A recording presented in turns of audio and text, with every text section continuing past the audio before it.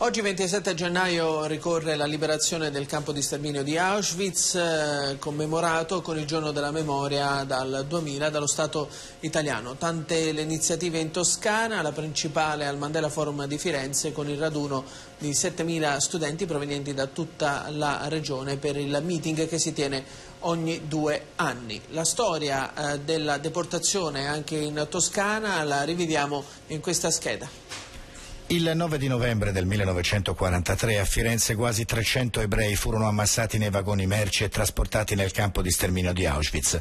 Arrivarono il 14 di novembre. 193 furono immediatamente uccisi nelle camere a gas. C'erano 8 bambini nati dopo il 1930, 30 anziani nati prima del 1884.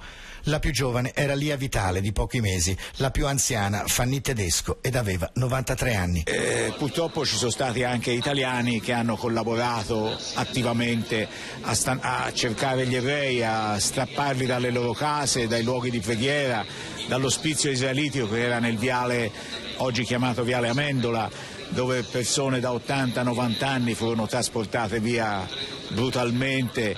A Firenze, prima della seconda guerra mondiale, gli ebrei erano oltre 2500. Dopo il conflitto rimasero in meno di 1200. Fino al giugno del 1944 i deportati furono almeno 500.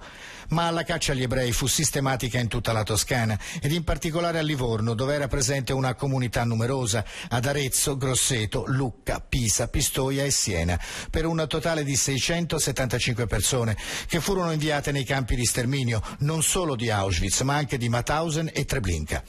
Due gli epicentri di raccolta e partenza dei treni della morte. Il primo appunto alla stazione di Santa Maria Novella, l'altro fra Lucca e Pistoia, dove era presente un'alta concentrazione di ebrei sfollati dalla costa e anche stranieri.